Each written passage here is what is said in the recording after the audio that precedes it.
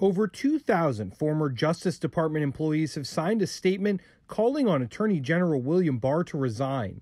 The signees also asked Congress to censure Barr over the unprecedented abandonment of former National Security Advisor Michael Flynn's case. The statement accuses Barr of, quote, repeated assaults on the rule of law in doing the president's personal bidding rather than acting in the public interest. Last week, the Justice Department announced it was dropping prosecution against Flynn, who pleaded guilty in 2017 to lying to the FBI during Robert Mueller's Russia probe. However, Flynn's attorneys requested in January his guilty plea be withdrawn, and Barr promised the case would be reviewed. A DOJ filing says the department believed pursuing the case would not serve the interests of justice, and that Flynn's statements, regardless of truthfulness, were irrelevant to the investigation. President Donald Trump has repeatedly called for Flynn's exoneration and praised the decision to drop the charges. For Newsy, I'm Josh Kransberg.